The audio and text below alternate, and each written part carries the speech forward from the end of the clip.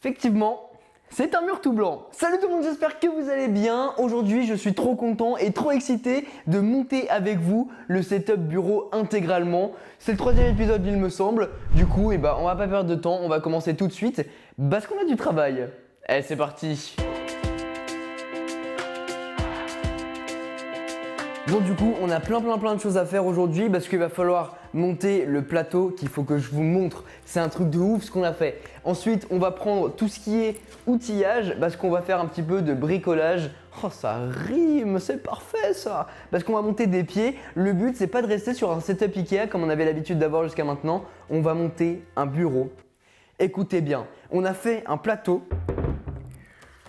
Il est pas magnifique. Regardez ça, il a été fait sur mesure par un artisan parce que je voulais que ça soit vraiment le bureau que je voulais aujourd'hui parce que j'en ai un peu marre de faire comme je vous disais des setups Ikea. Là, je voulais vraiment créer mon propre truc, mon propre univers. Du coup, on a pris une planche en chaîne, enfin, il l'a fait. Moi, j'ai absolument rien fait et j'ai suivi toutes les étapes de la construction du plateau pour arriver à ça. Donc après, je l'ai poncé, je l'ai verni pour avoir ce résultat là. Je ne sais pas si ça sera vraiment le résultat final que vous verrez dans la vidéo setup prochainement. En tout cas, il est trop stylé et il pèse très très lourd. Du coup, on va le poser contre le mur. Ah, ça va être bien cette vidéo. Bon, on a pas mal de choses qui vont se tramer. Ça, ça d'ailleurs, ça sera dans le prochain épisode. Mais bon, pas trop de spoil. Et on va voir ce pied-là, qui est en fait un pied la marque c'est FlexiSpot et en fait c'est des pieds euh, comme vous pouvez le voir dans beaucoup beaucoup de setups qui montent et qui descendent électriquement. Je cherchais le mot, mais c'est électriquement. En fait, on a une petite télécommande et on va pouvoir lever le bureau comme ça. On, va pouvoir avoir une position assise comme d'habitude et une position debout. Comme ça, bah, ça va être vraiment cool. Et il me faut mon couteau. Pourquoi c'est c'est devenu un running gag sans le faire exprès en fait. Euh, bon bah pas de couteau. Ça sera un cutter. Hein. Oh, c'est si triste. Et donc comme je vous disais, c'est vraiment le but de faire le setup que je veux personnellement avec un truc fait sur mesure avec un plateau qui fait du coup 2 euh, mètres par 70 de large et euh, des pieds motorisés. Ça va être une beauté et si tout se passe bien, tout à l'heure, on aura un, setup de l'espace. Par contre, il va encore falloir que je fasse du bricolage. Ça, ça va me saouler. On va prendre ça et il faut savoir qu'en fait, toutes ces pièces-là, ça coûte 400 euros. Ok? On est d'accord maintenant? Donc quand je vous disais qu'on va vraiment créer le setup complet qu'on a envie, enfin que j'ai envie moi, c'est que je me suis fait vraiment plaisir sachant que ça je l'ai acheté, ça je l'ai acheté, les trois quarts des trucs je les ai achetés. Capacité maximale de charge 125 kg. Ça, c'est un truc à savoir. Le plateau, je crois qu'il doit en faire quelque chose comme 30 en utilisant des vis. Serrez-les avec la clé hexagonale. La clé hexagonale. Je vais plutôt prendre euh, une visseuse que ça là. Ok, on en a une. Déjà, ça c'est plutôt bon. Mais en fait, c'est pas tant que j'aime pas bricoler parce que c'est la fierté que t'as quand t'as fini de bricoler un truc et que et que, c'est vraiment bien, c'est vraiment bien. et non, et non, et non, pas encore. Et du coup, c'est pas que j'aime pas bricoler, c'est qu'en fait, j'ai toujours cette appréhension de me dire Putain, ça se trouve, je vais mal faire un truc. A priori, non, mais peut-être que oui. Genre là, par exemple, tu vois, je viens de découvrir qu'il y avait un côté plus long que l'autre. Est-ce que ça importe? Eh bah, peut-être, ouais. J'en sais rien, mais peut-être. Merde Le pire, c'est que j'en suis sûr qu'il y en a euh, parmi vous qui sont trop forts, genre. Ils font ça en 2 secondes 30 parce qu'ils savent comment faire. Eh, vous avez dit bonjour à Franck? Franck Laplante? Eh, vous mettez tout de suite un commentaire en disant Hello Franck, ça va ou quoi? La magie du Saint-Esprit les fait tenir. Comment ils veulent que je fasse tenir? Bon, en tout cas, on a fait une autre étape. Les pieds sont montés. On a fait ce qu'ils appellent la poutre qui est en fait la section du bureau qui va se mettre entre les deux pieds. Ah Et en fait, cette plaque, ce qui est hyper intelligent, c'est qu'en fait, on peut l'adapter en fonction du bureau. Donc moi, je l'ai étendu presque euh, au maximum, même au maximum, je crois, parce que j'ai un bureau de 2 mètres. Du coup, bah, on a des, des, pieds qui font presque 2 mètres. Donc voilà nos pieds, à quoi ça ressemble. Et le bureau sera du coup posé dessus. Il faut juste visser cette partie-là. Mais déjà, on a un petit aperçu de la gueule que ça va avoir.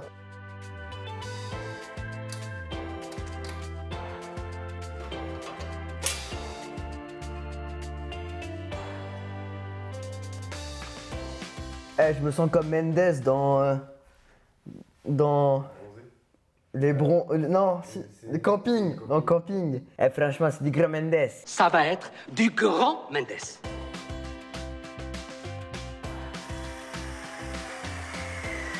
L'instant de suspense, c'est branché, ça s'est allumé. Maintenant, normalement, si j'appuie, ça monte. Bon, il n'est pas totalement vissé, mais je voulais juste vérifier.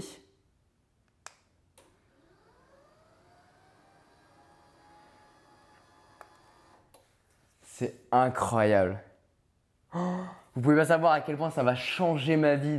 Faire des montages debout, assis, comme je veux, bien m'installer, ça va être incroyable. Donc ça fonctionne, donc je peux continuer mon vissage. Putain, c'est trop bien Bon, bah ça y est, tout a été vissé, je suis trop content, regardez le résultat, c'est ouf. Et encore, il n'y a rien dessus. Et j'ai vissé du coup ça, faut tout visser à la mano. Du coup, on a ça, et puis ça fonctionne, hein, regardez. On peut, le monter, on peut le descendre, tout est automatisé, c'est trop trop bien. Bien évidemment, il y a des programmes aussi qu'on va pouvoir gérer, genre par exemple le 1, ça va être telle taille, le 2, ça va être telle taille. Je vais configurer ça quand on aura mis tout le reste et bientôt configuré. Du coup, bah, ce qu'on fait, c'est que euh, on passe à la suite. Il va falloir maintenant brancher des choses en dessous pour pouvoir bah, mettre un écran, mettre des enceintes, mettre des choses comme ça. Du coup, j'ai chopé plusieurs choses, à savoir déjà une, énorme prise multiple. Regarde, lâche-moi. une énorme prise multiple de 10 prises dessus. Et puis j'ai chopé ça, un truc qui vient de chez Ikea qui en fait vous permet euh, tout simplement de pouvoir euh, mettre la prise au-dessus et ça c'est vissé dans le bureau. Voilà la tête que ça a et en fait c'est une grille qu'on va pouvoir mettre sous le bureau et l'idée c'est qu'on puisse mettre tout simplement la prise à l'intérieur. Regardez en plus c'est pile poil la taille. Mais en gros là c'est les caches qui sont euh, livrés avec, euh, avec le bureau. Moi j'ai rajouté ça, le truc Ikea dont je vous parlais, j'ai mis la prise au-dessus. En fait de base il y a deux petits bitoniaux qui sortent de ce truc gris pour rentrer directement euh, dans le meuble, mais enfin dans la table, mais qu'on peut visser. Là le problème c'est que la prise est trop grosse, elle est un petit peu trop longue malheureusement. Mais en fait, il faut visser aussi dans le plateau. Et moi, j'ai pas trop envie de visser dans le plateau. Donc, ce que j'ai fait, j'ai pris des petits serre-câbles, ces trucs-là qu'on peut trouver euh, vraiment pas très cher sur, euh, sur Amazon. Je les ai mis de part et d'autre. Vous voyez, c'est des trucs qui dépassent là, qui sont un peu moches. Et en fait, là, ce que je vais faire, c'est que je vais faire tous les branchements au-dessus. Dès que c'est bon, je vais les serrer. Et normalement, ça devrait donner un truc comme ça, tu vois, genre euh, plaqué, euh, plaqué un peu comme ça. Donc au final, voilà, comme ça. Au final, on verra pas grand-chose, mais ça fait un truc plutôt clean. On verra ce que ça donne à la fin. Et en fait, euh, le bureau est branché sur la rallonge. Et la rallonge est reliée à une multiprise, qui est une multiprise Legrand qui est très puissante pour faire passer le courant qui passe à l'intérieur. Vous voyez d'ailleurs l'épaisseur du truc. Et en fait, ce gros câble blanc un peu moche, je vais le faire parcourir dans tout le cadre du bureau. Comme ça, on verra juste un tout petit câble comme ça qui sortira du bureau. Par contre, il faut juste faire attention à la longueur parce que c'est un, bureau qui monte et qui descend. Donc voilà, faut garder un peu de longueur pour euh, qu'il puisse monter et descendre. Bon, maintenant que tout ça c'est fait, bon ça on verra après, mais déjà vous voyez que avec cet angle de vue c'est plutôt clean, sachant que ça va être un peu plus remonté. Quoi qu'il en soit, il faut qu'on avance et on va mettre les lampes. Ces lampes-là, vous les connaissez, hein, vous les connaissez très bien parce qu'elles c'est exactement les mêmes que celles qui étaient dans mon ancien setup. D'ailleurs, un grand merci à Thomas qui m'a renvoyé exactement les mêmes produits. Et regardez ça, franchement, j'adore. C'est la petite lampe Pixar. Vous savez, vous connaissez Pixar. Ben voilà, là on a la lampe. Elle est pas blanche, elle est noire. Pour faire un petit rappel avec les pieds, c'est incroyable. Oh, je suis trop content de les retrouver ici. On va les laisser comme ça pour l'instant, on les réglera après, et puis surtout il y a les câbles qui pendouillent, mais on fera le cable management après. On va mettre les Philips Hue à l'intérieur. Si vous connaissez pas ce que c'est, bah euh, franchement vous ratez quelque chose. C'est des ampoules connectées, du coup que vous avez juste à visser à l'intérieur. Oh, voilà, et voilà.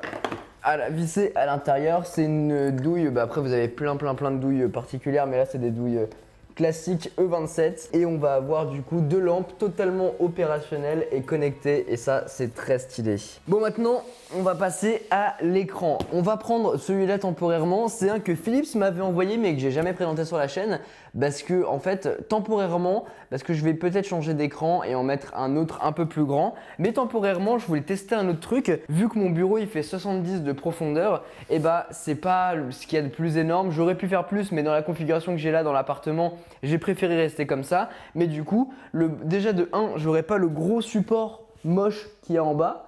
Et en plus, et bah, sur le bureau, je vais pouvoir bouger l'écran un peu comme je veux. Donc on va tester ça. En gros, quand je vous disais qu'il faut vraiment faire attention à la dimension de votre bureau, c'est parce que si vous prenez un grand écran, il faudra forcément un grand support. Et regardez-moi, regardez-moi la taille de ce truc-là. Donc ça, c'est ce qui fait maintenir l'écran en place. Ça prendra cette taille-là. Donc sur le bureau, moi, il me reste que ça après pour mettre le clavier, etc. C'est juste énorme par rapport à la taille du bureau, quoi. Donc euh, faut vraiment faire attention à ça, dépendamment de ce que vous prenez pour chez vous, quoi. Bon, une fois monté, voilà ce que ça donne. On voit toujours pas ma tête. Hein.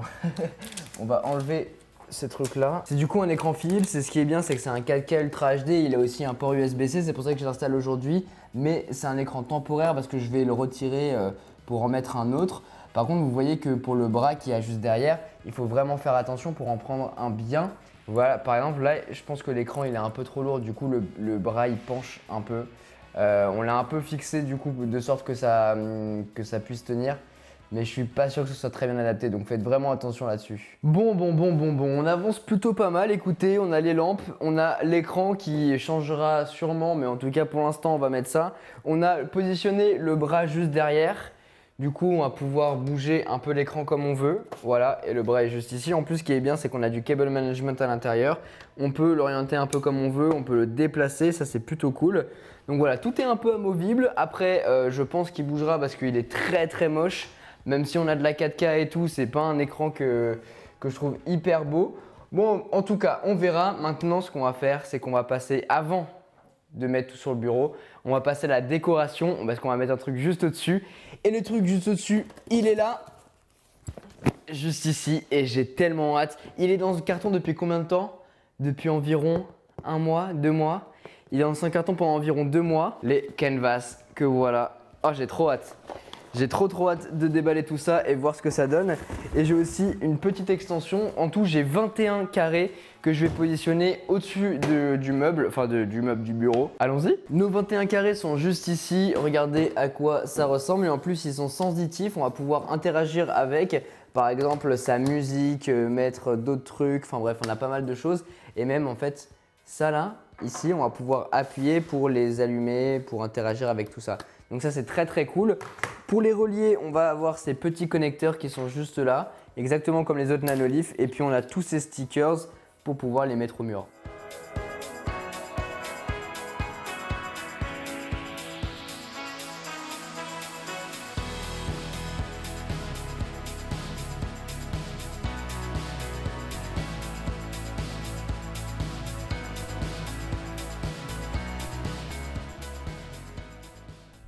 Un petit changement de t-shirt et après le nanolith installé mais pas complètement parce qu'en fait il me manque des petits embouts, des petites attaches. Donc en fait il m'en reste 4 du pack d'extension qu'il faut que j'accroche. Donc il en faut un peu ici, un peu là, mais déjà vous voyez qu'une fois allumé, ça rend plutôt bien. Là je l'ai mis dans un mode un petit peu aléatoire, du coup il fait sa vie, on va le laisser. Quoi qu'il en soit, j'ai aussi fait un petit peu de cable management en dessous. Ça se voit pas de ouf, mais on en a fait un petit peu ici. Les lampes sont installées, vous voyez qu'elles éclairent.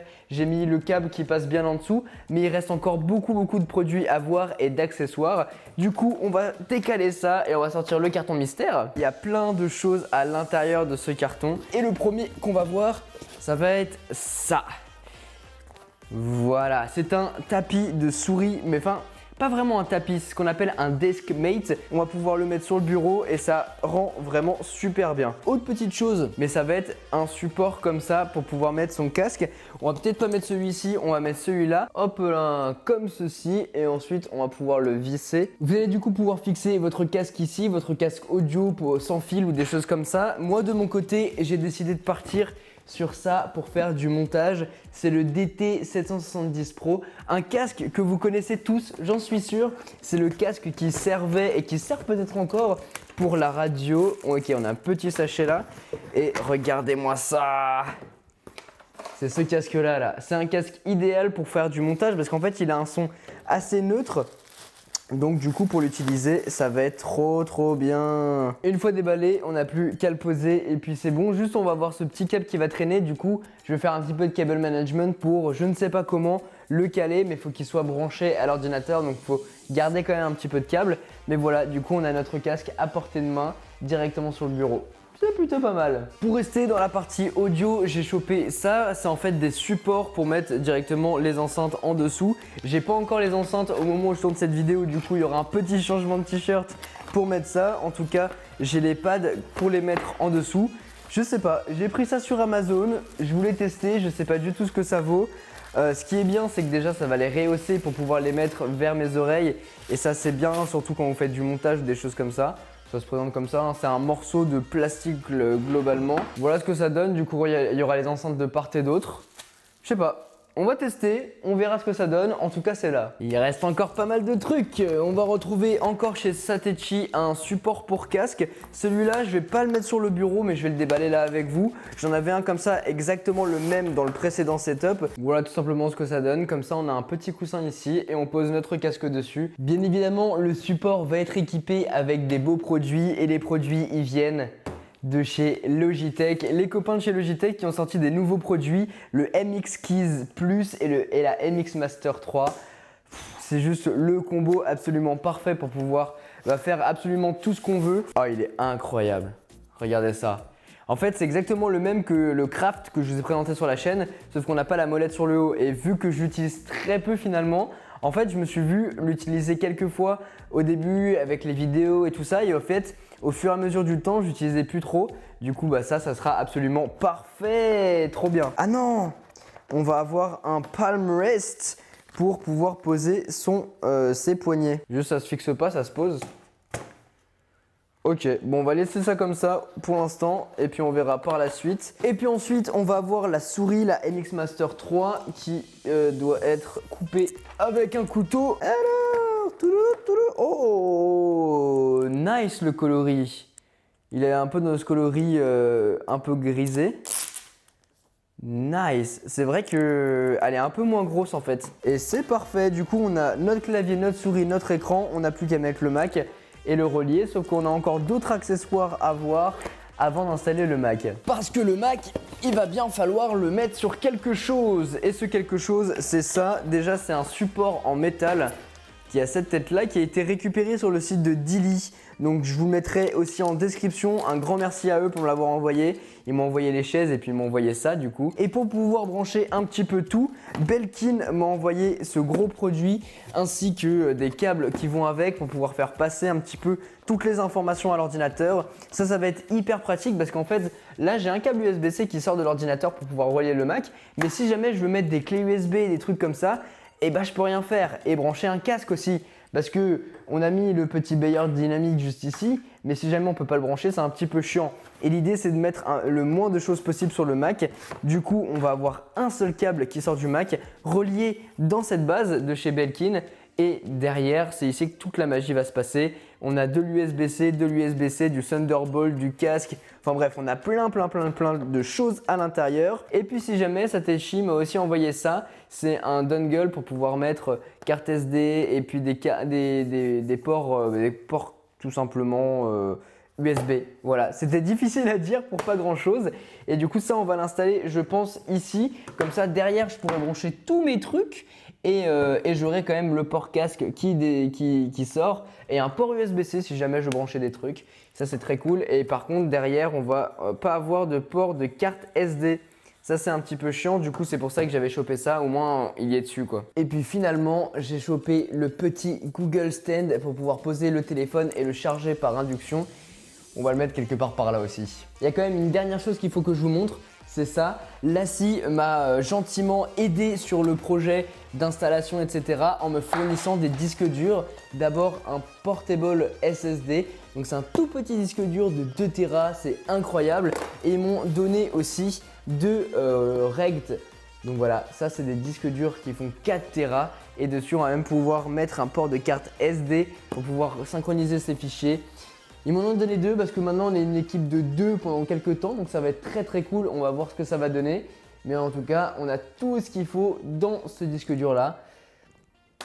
Qu'est-ce que vous voulez que je vous dise? C'est pas mal ça J'avais aussi envie de vous faire plaisir parce que en plus de déballer un truc tout de suite qui va m'être super utile, on va aussi faire un petit concours qui sera sur mes réseaux sociaux à propos de ce produit, le Epson ET2720 de, euh, bah, de Epson tout simplement, c'est une imprimante EcoTank. Vu que je viens de déménager, bah, qui dit déménagement dit aussi nouvelle imprimante. Et euh, on va vous en faire gagner une sur les réseaux sociaux. C'est hyper simple, toutes les conditions sont dans la description.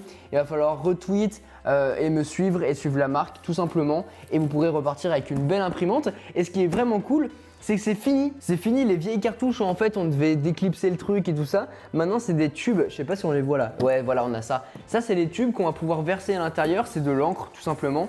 Sauf que lieu que ça soit un truc pas hyper euh, éco-responsable, et eh bah maintenant ça l'est un peu plus il me semble. Voilà ça ressemble à ça là. Voilà. Et bien sûr c'est une imprimante qui fonctionne avec Apple AirPlay par exemple, donc ça c'est bien, c'est connecté, c'est c'est connecté au réseau et tout ça. Donc c'est pas mal. Pour pouvoir du coup remporter cette petite bête, comme je vous l'ai dit, c'est sur Twitter. RT, follow, c'est tout simple. Il y a le lien dans la description et vous pourrez repartir avec cette jolie bête. Bon bah voilà, ça y est, quasiment tous les accessoires sont déballés. Il va du coup manquer les enceintes qui vont arriver et il manque aussi la chaise qui va très bientôt arriver. Et puis euh, j'ai vu un truc qu'il fallait que je vous montre. Oui, eh oui. Parce que lui il va venir.